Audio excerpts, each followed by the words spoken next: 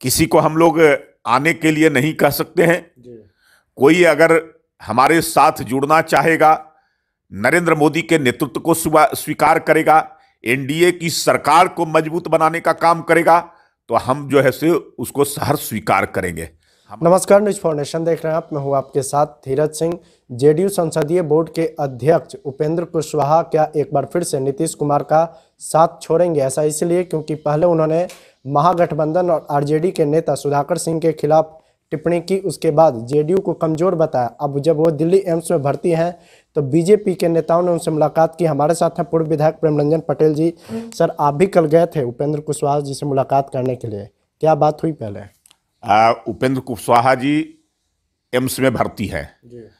जानकारी मिला कि उनकी तबीयत खराब है एम्स में वो हैं तो इस नाते देखने चले गए। उपेंद्र कुशवाहा जी हम सब लोग के पुराने सहयोगी रहे हैं साथी रहे हैं एनडीए गठबंधन में रहे हैं केंद्र सरकार में मंत्री रहे हैं तो ये दायित्व बनता था कर्तव्य भी बनता था कि उपेंद्र कुशवाहा जी की स्वास्थ्य की जानकारी लेना।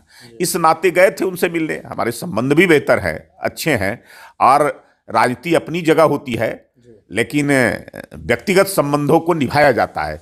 उसके नाते मैं उनसे मिलने और उनके स्वास्थ्य की जानकारी लेने एम्स में गए थे। ए, लेकिन जिस तरीके से महागठबंधन के नेता महागठबंधन और आरजेडी के नेता सुधाकर सिंह के खिलाफ उन्होंने कहा जेडीयू को भी कमज़ोर बताया उसके बाद इस तरह की मुलाकात कहा जा रहा है कि आप बीजेपी के नेताओं का संदेश लेके वहाँ गए थे।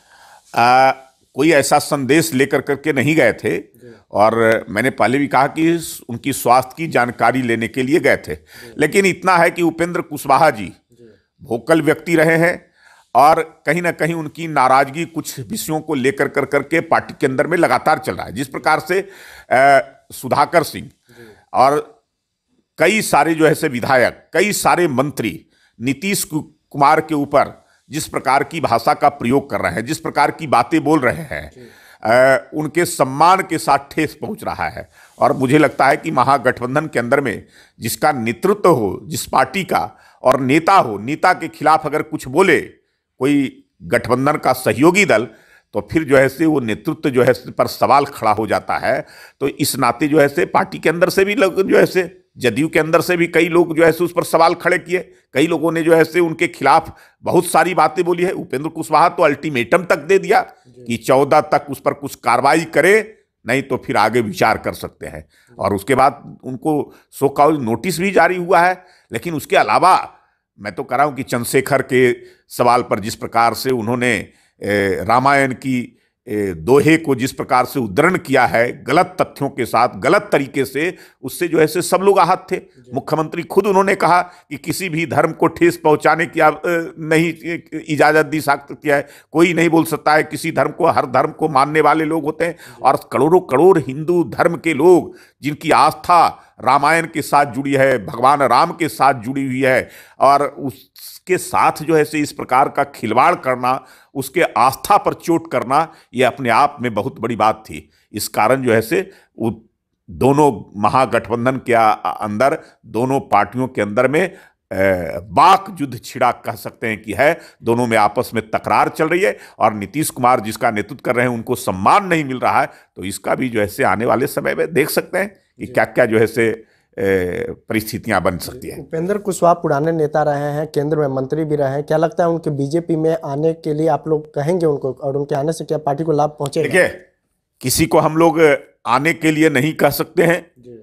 कोई अगर हमारे साथ जुड़ना चाहेगा नरेंद्र मोदी के नेतृत्व को स्वीकार करेगा एनडीए की सरकार को मज़बूत बनाने का काम करेगा तो हम जो है से उसको सहर स्वीकार करेंगे।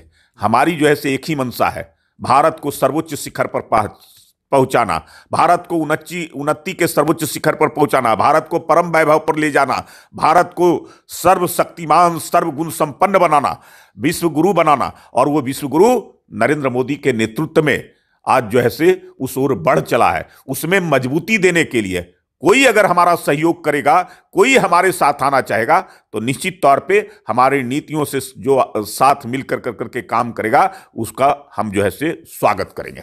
आप कह रहे हैं महागठबंधन में युद्ध छिड़ा हुआ है तो लेकिन युद्ध के नाते आप उनको सलाह देंगे कि एक रास्ता ये बचा हुआ है इसमें आ सकते हैं आप लोग? देखिए हम लोग वो कोई सधे हुए पॉलिटिशियन है वो कोई साधारण व्यक्ति नहीं है बहुत सारे पदों को सुशोभित किए हैं, लंबे लंबे समय पार्टी तक का नेतृत्व किए हैं। अभी भी जदयू के अंदर में उनका बड़ा उहदा है। एमएलसी हैं, जदयू संसदीय बोर्ड के अध्यक्ष हैं तो उनको कोई सलाह कौन दे सकता है? वो खुद जो ऐसे समझदार व्यक्ति हैं, खुद निर्णय लेने वाले और क्षमतावान व्यक्ति हैं। जब भी कुछ इस प्रकार का होगा तो वो स्वयं निर्णय लेना जानते हैं। बहुत बहुत धन्यवाद। पूर्व विधायक प्रेमचंद प्रेम रंजन पटेल, दिल्ली से न्यूज़ फॉर नेशन के लिए मैं धीरज सिंह।